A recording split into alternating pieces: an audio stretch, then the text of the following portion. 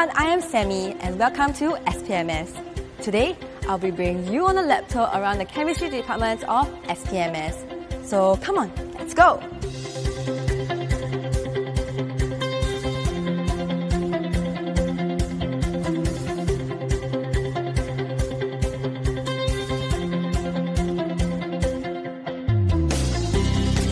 First up, we have the teaching labs. So this whole floor is dedicated to all the undergraduates.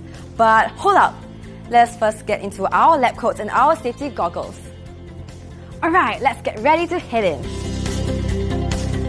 Alright, now we are at the synthetic labs.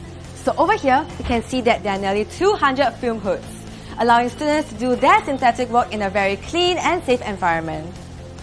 So one thing I love about our curriculum is that we are able to do many hands-on experiments as well as laboratory work such as this one. It helps us to reinforce the knowledge and theory that we learn in our lectures.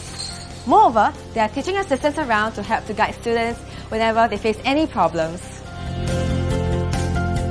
So here is where we get to use our lab instruments such as the HPLC, GC, spectrometers, and numerous other instruments that are used for characterization, analysis, and purification. Sounds cool, right? So over here we have the analytical lab, where it houses many more instruments that are being used for characterization and analysis of compounds. So NMR, mass spectrometers, and X-ray diffractometers are located at level 1 below us at the Central Instrument Lab. So our aim is to equip every student with significant hands-on experience on the latest and most sophisticated techniques and instruments that are relevant to both the industry and academic research. So next up, let us head to the research labs.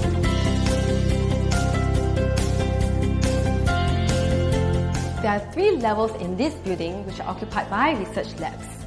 As an undergraduate in CBC, you'll be given plenty of opportunities to work on research projects right from your first year. This can either be part of the summer special research program or during your research stints in special programs such as the Odyssey or URECA. And you may have the option of working on your final year project at any of our research labs. And you will be assisted and be attached to a research group where you'll be able to do cutting edge research.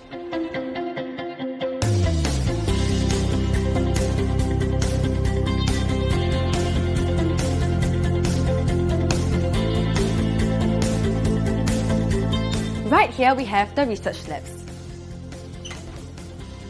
Each lab is equipped with 8 fume hoods.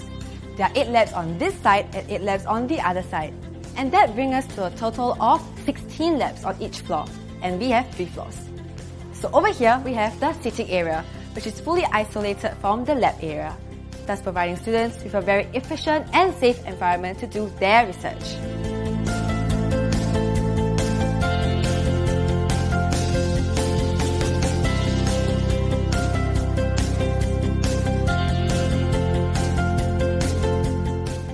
For joining me on this lab tour.